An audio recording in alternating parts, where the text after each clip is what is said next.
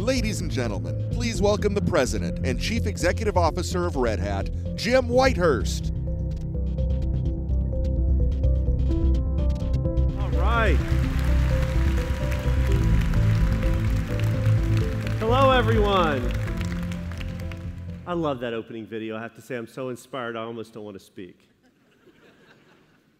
So, I have to say, this is really my favorite week of the year. It is every year. You know, our mission statement says that our mission is to be the catalyst in communities of customers, contributors, and partners building better technology the open source way. So you are all mentioned in our mission statement as part of what we want to do. And we try to live that every day, but most weeks it's theoretical. We don't see you. And so, what I love about this week is it's a chance to see so many familiar faces and also every year so many new faces.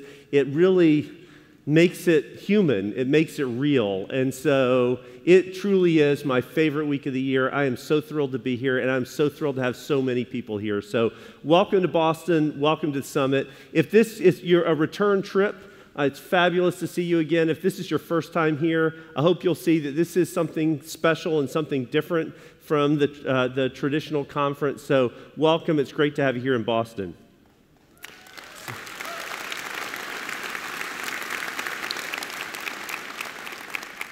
Sorry about the heat uh, here this evening. There's apparently a glitch in the proprietary controller of the the AC system. If it were open, I'd ask you for a little help, but I'm sure we'd have it fixed by now. Unfortunately, it's not the case. Um, is Thomas awesome or what? It's uh, fantastic to have him. And he's inspired us to open a tattoo station as well in our booth. So if you really want to walk out with the Red Hat logo, come to the booth. I'm sure we can take care of you. No, seriously, I think that shows the kind of passion and dedication so many people have for Red Hat and what we're doing. You know, again, this year we have record attendance way over the top. While Thomas was talking, I was backstage and I could see up top, and people were still looking for seats. Hopefully, we found room for everyone. We're literally exploding out of Hynes here, which is a phenomenal thing to see.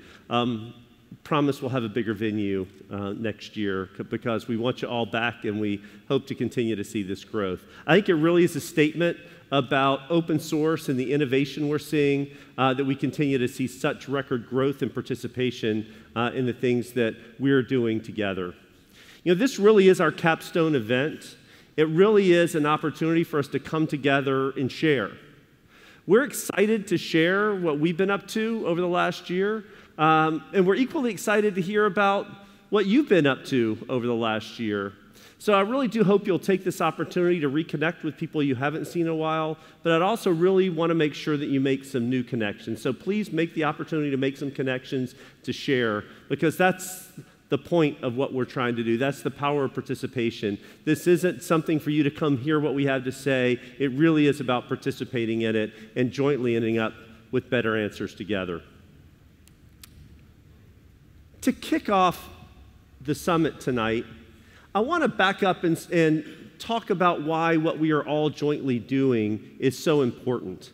And when I say it's so important, it's not just important to our own organizations or to IT more broadly, but I literally mean what we are striving to accomplish in technology, and I mean we, I mean all of you, really will impact the survival or, or failure of the companies uh, with whom we work. We are in a sea change in how value is created in our economy. Right? As we are coming to the dusk of the Industrial Revolution and the dawn of truly the information revolution, how organizations create value is radically changing. The traditional primary way that we've created value since the 1870s and the, really the dawn of the core industrial revolution has been about making things that were either cheaper or more standardized, more efficient than things that were made before. And the way we did it is we used scale. And so, as a recovering ex strategy consultant, I can tell you almost all companies' strategies are flavors of economies of scale or a positional advantage. And it was around assets, and assets were the primary means of production. And frankly, labor, even calling labor labor, you know, was a, is a cue that it was just basically an input into um, organizations that were primarily run because of assets. But with the explosion of information technology, we've enabled the ability to, for information and analytics and knowledge to break free from their underlying physical assets. And that is causing a radical transformation in every aspect of business. I want to read you one quote very quickly because um, I think this sums it up well, and we'll go from there. Tom Goodwin recently in TechCrunch wrote Uber the world's largest taxi company owns no vehicles. Facebook, the world's most popular media owner, creates no content. Alibaba, the world's most valuable retailer, has no inventory. And Airbnb, the world's largest provider of real estate, of accommodations, owns no real estate. Something interesting is happening.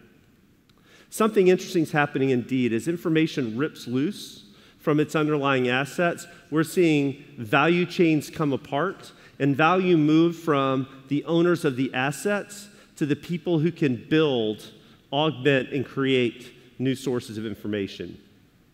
Now, that's interesting in and of its own right, but where it gets complex is what that means is in a world where information is the primary asset, or certainly it's the source of value creation and physical assets are becoming much more the commodity that feeds into that. That means that innovation is determining how value will be created. If you recall several years ago at Summit, I talked a lot about how the ubiquity of compute network and storage as prices came down and standardization and commoditization that open source was driving was creating a platform on which unimaginable innovation would happen. That was just three years ago that I gave that speech up here on the opening night of Summit. And it is happening so much faster than I could have ever possibly imagined. Technology is enabling change in vertical value chains, disrupting companies at a pace almost unimaginable. IT's on the front line of that change.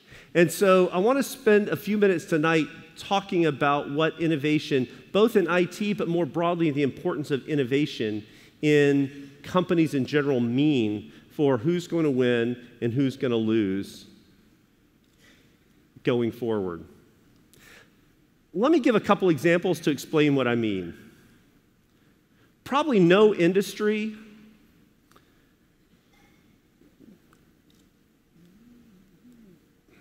trying to think of the word I want to use here. No industry is iconic or most exemplifies, that was the word I was going to use, exemplifies the Industrial Revolution as does the auto industry. Right? In many ways, the Industrial Revolution and its pace was defined by the auto industry. Um, originally, the Model T in the 1920s and early 30s defined uh, mass manufacturing in a whole new way. Henry Ford and ultimately how our economy developed, there's been no other industry that has had such a major impact on our society during the industrial era. I mean, deeply, deeply. So ultimately, Henry Ford and the $5 workday created the middle class as we know it today. The ability of having ubiquitous transportation that was affordable for the middle class, i.e., the Model T, allowed for the development of the suburban kind of world in which so many of us live. So, without a doubt, the auto industry, in much, uh, in many aspects, defined the world we live in today. It also defined it in another aspect. Much of what we think of as the innovation and the management structures that we live in today were developed by the auto industry. So, Taylorism, science of management, Alfred Sloan, so much of the early work on how organizations were founded, how decision rights were distributed, you know, how we actually orchestrate tens of thousands of people across multiple geographies were defined by and because of the auto industry as the first truly massive multi divisional organizations. But recognize those organizations had a pretty different objective function than we are looking at today. These are organizations that were built to manage mass amounts of capital, relatively unskilled labor, doing relatively rote tasks.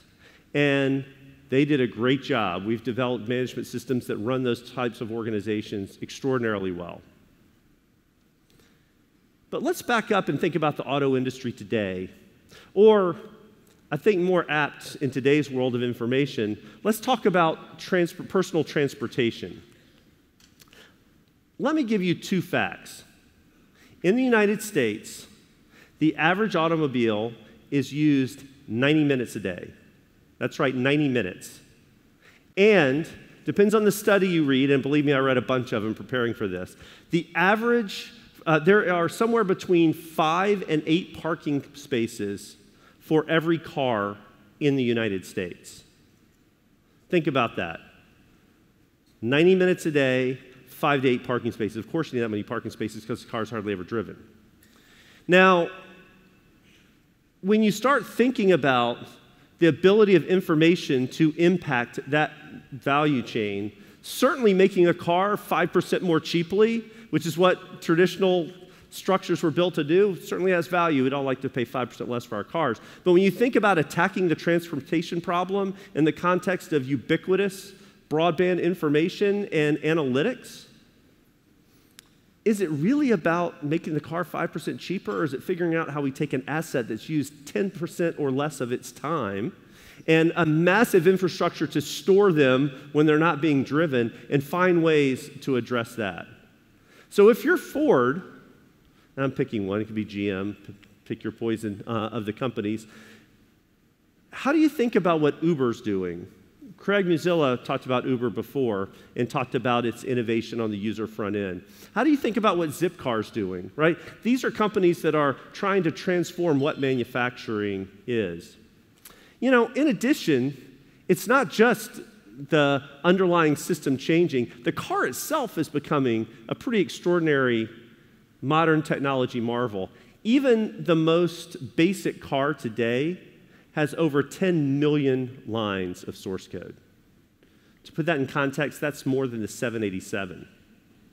By the way, did you know that the 787 has to be rebooted every 248 days because there's some bug they hadn't been able to figure out, and if it goes over 256, you don't want to be on a plane that goes over. Seriously, I kid you not, it has to be rebooted. Talking about uh, software development issue. But, but then you get luxury cars, which, once you include the nav and entertainment systems, can have over 100 million lines of source code. So the car itself is becoming a technology product. So when you think about what does that mean to be an auto manufacturer?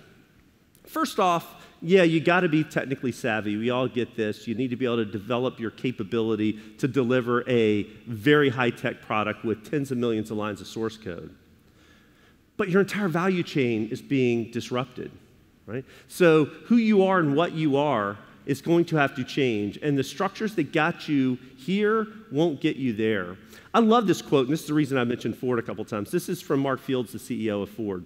The car is becoming the ultimate technology product, but more importantly, we are becoming more of an information company. And I think the second piece of this is what's really insightful. He recognizes that it's not about building a technology capability, it's about the fact the whole organization and its capabilities need to change because the structure of the industry is changing around it because of information. Let me go through another uh, couple examples. I'll try to do these quickly. I love these examples, so but I'll try to do them quickly. It's not just the auto industry. If you look at aircraft manufacturing, another classic industrial industry, not quite as old as the airline industry, more like 75 years old. But the first 75 ish years of this industry were all about making aircraft that were lighter and therefore um, cheaper to make, cheaper to operate, and more environmental. And aircraft had done an amazing job of that, and it's I know it doesn't feel like it when you bought your tickets here, but air travel has become dramatically less expensive and much more environmentally efficient uh, than it was 50 years ago. And there's just been amazing innovations happening in the functional components of an aircraft. But again, technology is upending how competition is happening in the industry. The average 787 flight generates a half a terabyte of data per flight, per flight. GE's next gen aircraft engines can measure and capture 5,000 data points on the performance of that engine per second. Now, if you think about what that means to an, uh, an airline, an operator of that aircraft, in terms of when there might be a failure, in terms of safety, in terms of how you can manage it performance, that's huge. But if you're GE, you sell engines.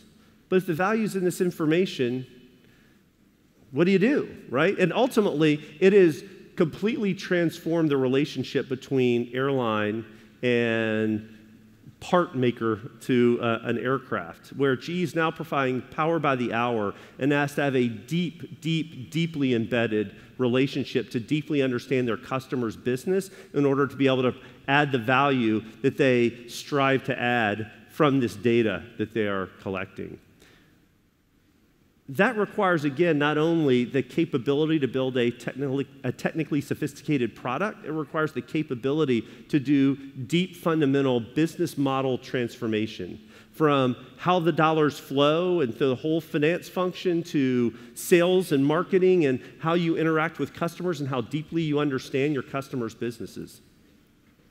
Let me go through one more non industrial example. This is one of my favorite brands in the world. For those of you who know me, you know I drink a lot of espressos a day. Um, Starbucks exploded on the scene a couple of decades ago by recognizing that the coffee shop wasn't just about coffee. It was about an extraordinary experience, right? It's a great cup of coffee, but an extraordinary experience. And it's now one of the largest food service companies in the world. But for a company like Starbucks, Continuing to maintain that position of momentum conti- uh, requires that they continue to rethink and, and hone their, uh, their experience to continue to exceed their customers' expectations. Now, you might ask, how is coffee going to become a high tech product?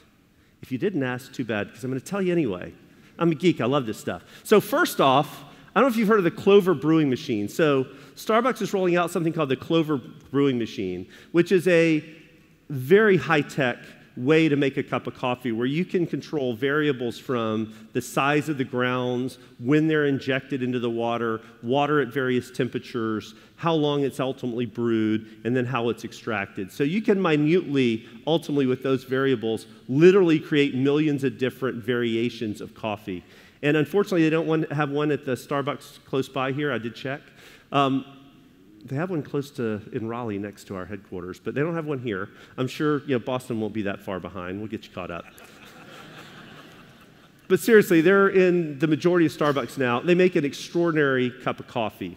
But importantly, not only can they micromanage and segment down to millions of different varieties or, or tastes that the coffee can take, they're connected to the internet. And while Starbucks today doesn't do it, they have the possibility of being able to store minute um, or information on customers' minute, slight changes in uh, preferences for a cup of coffee. It goes beyond that. There's certain things you would expect Starbucks to do. So Starbucks was working directly with AT&T on how to make Wi-Fi, the Wi-Fi experience better, faster, more able to handle multiple people. And they have over 10 million people using their mobile applications. But they've even gone beyond those basics, the things that you might think sound a little crazy. Like they become very involved in wireless charging, right? They're working with one of the uh, consortia to do wireless charging um, on for cell phones. And they're working with Apple on their iBeacon technology, which is basically a very near field way to tell where someone is. So the promise longer term, I'm sure after you let them uh, or agree to let them do this, they can track when you're coming near a Starbucks. And combine that with knowing your preferences, it's possible in the not too distant future, by the time you get up to pay, your cup of coffee is already ready, exactly down to tailored to your needs. Now, the reason, God, I got somebody clapping for that. All right. Somebody else is into coffee as me. I love it.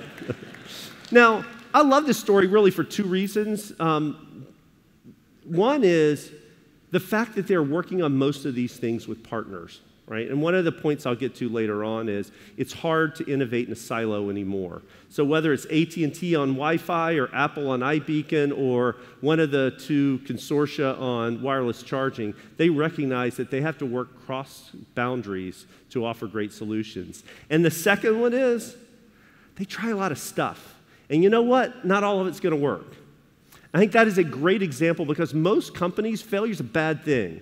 You don't try stuff, and you certainly don't try stuff all the way out to your customers unless you're sure it's going to work.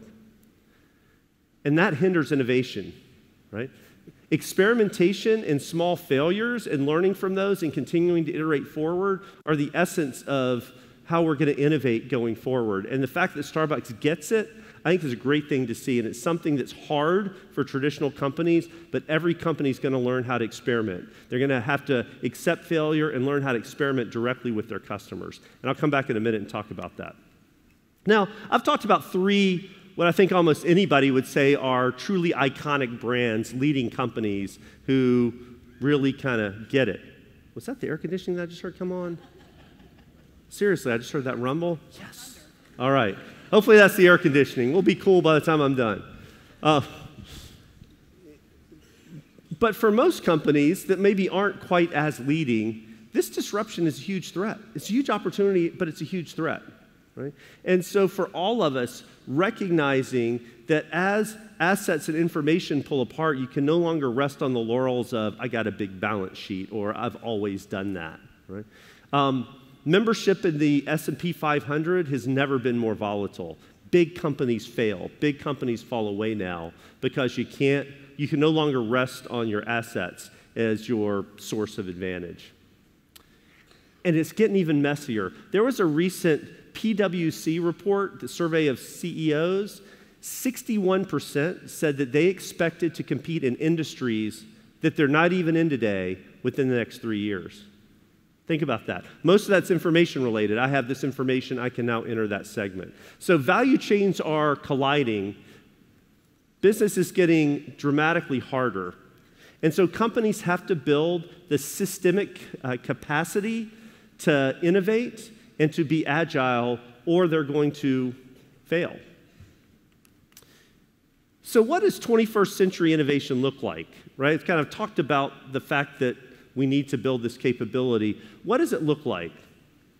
Well, in a world where software is eating the world, Marc Andreessen, I'm sure, I guess I, I don't know if I have to give him attribute, but yeah, Marc Andreessen said software eats the world. And we know now that innovation is not just about the product, and we know it can't be bought. We have to build that capability. I think actually technology has a lot to say about it. We've been on the bleeding edge in many ways on how to innovate in a different way.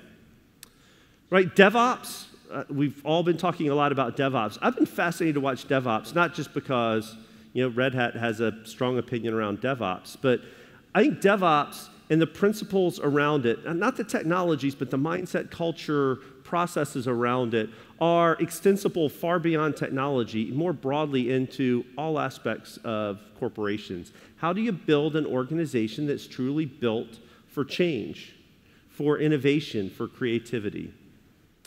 So, thinking about our learnings around DevOps, but really importantly, our learnings of over 20 years of involvement in open source, I would propose some key things that I think we're going to see in 21st century innovation. First off, it's going to be decentralized.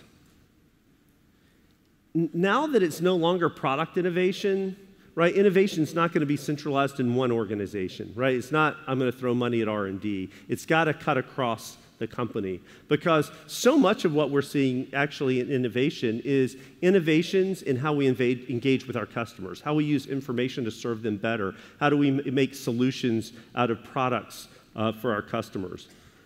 Central planning and hierarchy do not do a good job of doing that. We need ideas bubbling up, right? We need bu- uh, ideas bubbling up, and we need the best ideas to be identified and fostered, others called, so ultimately the best ideas win. So, building the capability to innovate in a decentralized way, I will argue, is going to be critical to the success of any company.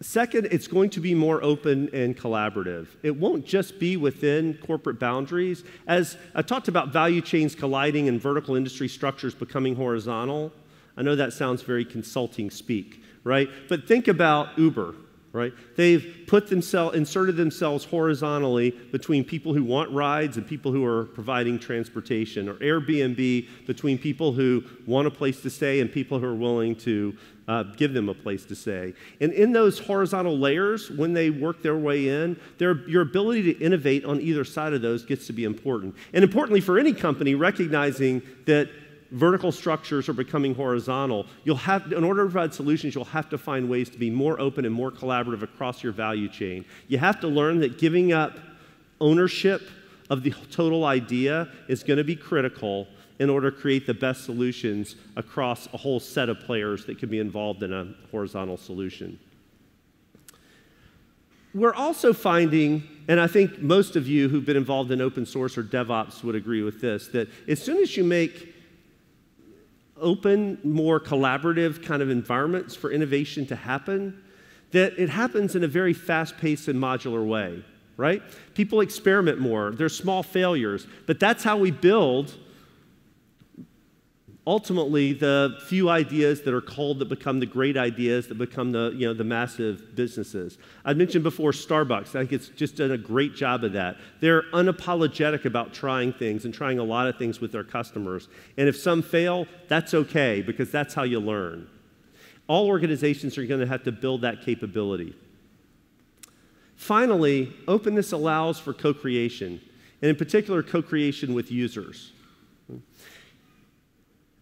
in years past, I've talked about the importance of user driven innovation in open source, right? To me, that is the core power of open source. And we ultimately directly talk about lack of vendor lock in and all the other things that I think we can ultimately provide because of open source. But the real power is the fact that users are in, involved in driving their own technology roadmaps.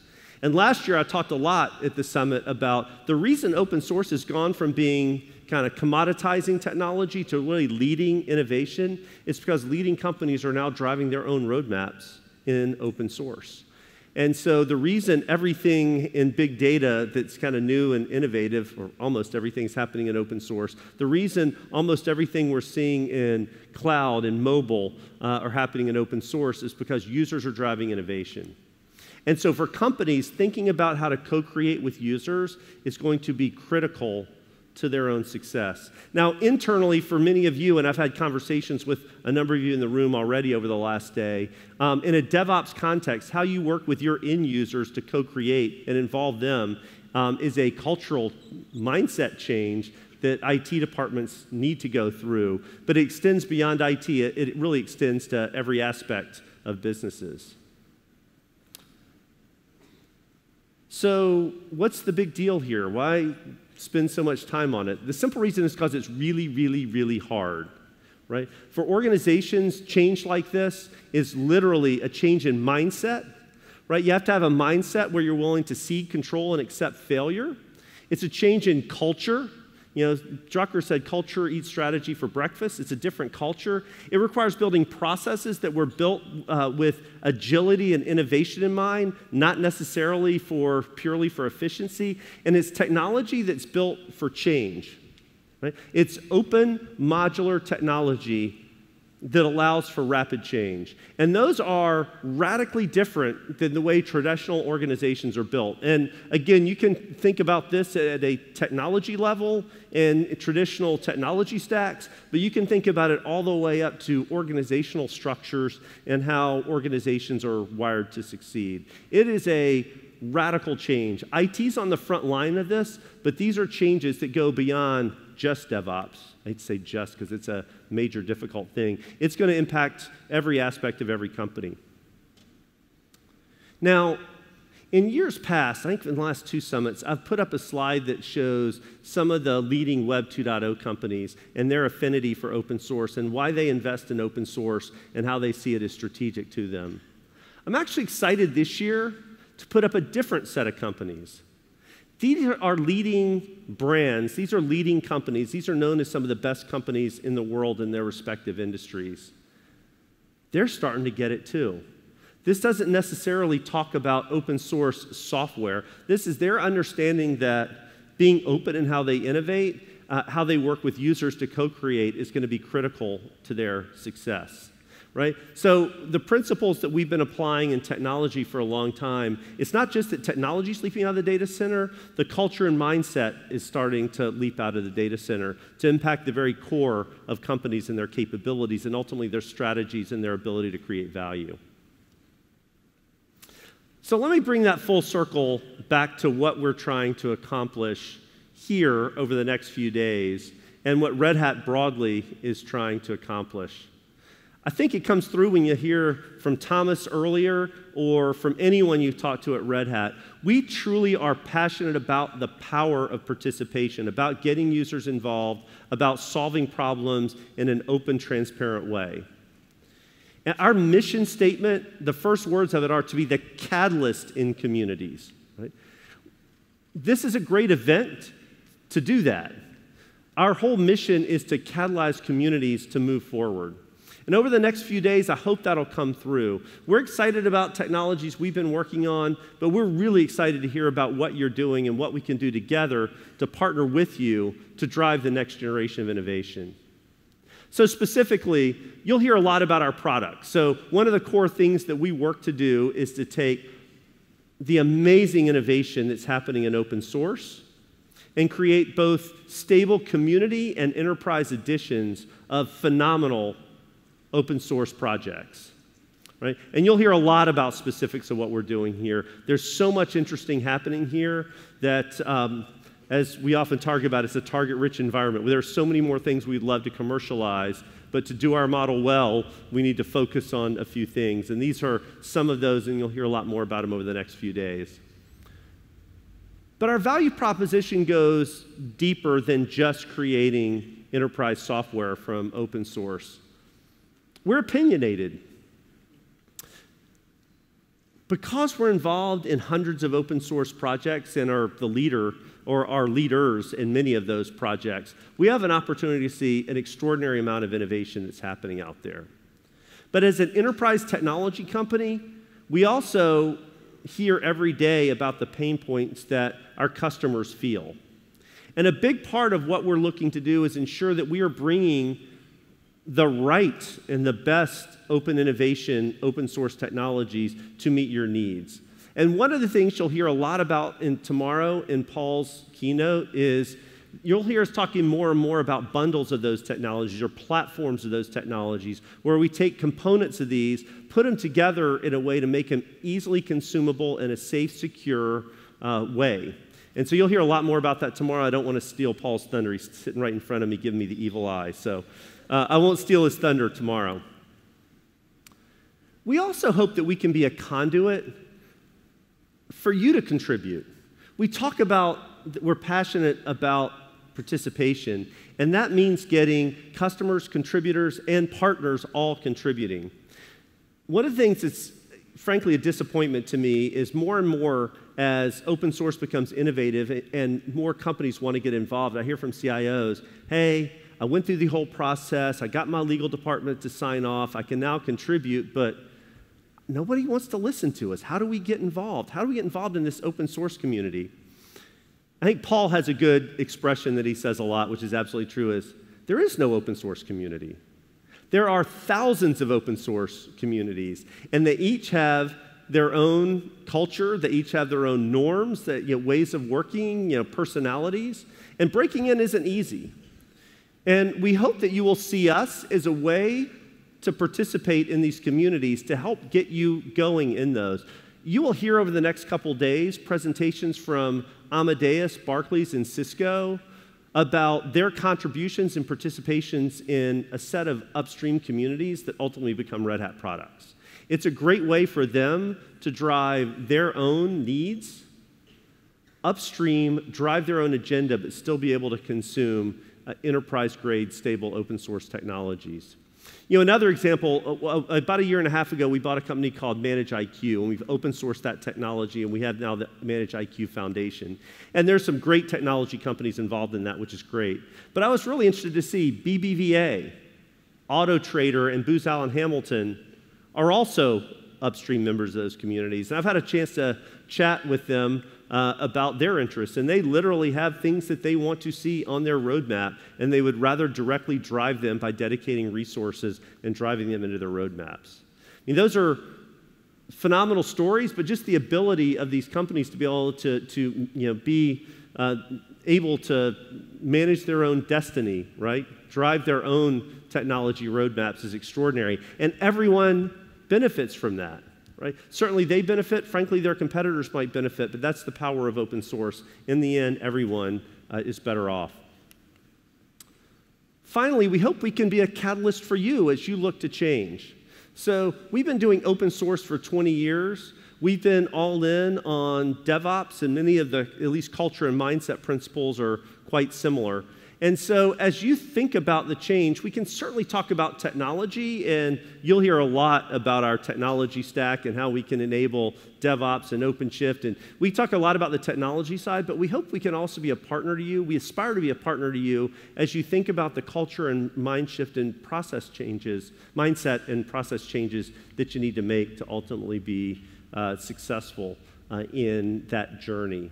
We've been doing it for a long time, and as you know, if we have anything we think that's valuable to share, we absolutely do share it.